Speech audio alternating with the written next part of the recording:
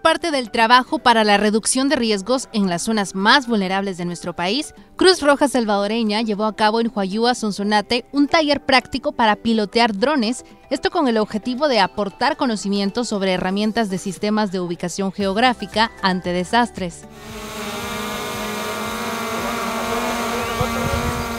Según los facilitadores de este taller, los drones permiten captar información para verificar sitios de riesgos o donde podrían ocurrir desastres y con estos archivos poder generar una base de datos que facilite la asistencia humanitaria.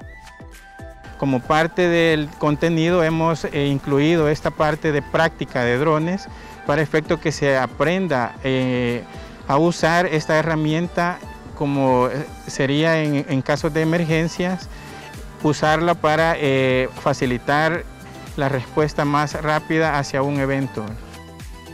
En el taller formativo participaron técnicos de los proyectos de resiliencia comunitaria Cuencas en Sunapán, en Sonsonate, proyecto de reducción de riesgos de desastres en Aguachapán y personal de planificación. Beatriz Torres es parte de las participantes proveniente de Aguachapán.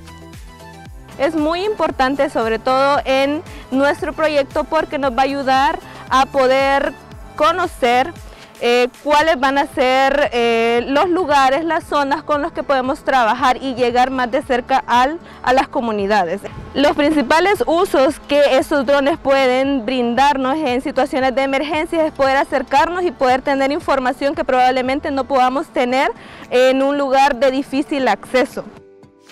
El fortalecimiento es con apoyo del proyecto de reducción de riesgos de desastres en Aguachapán que financia la Cruz Roja Americana.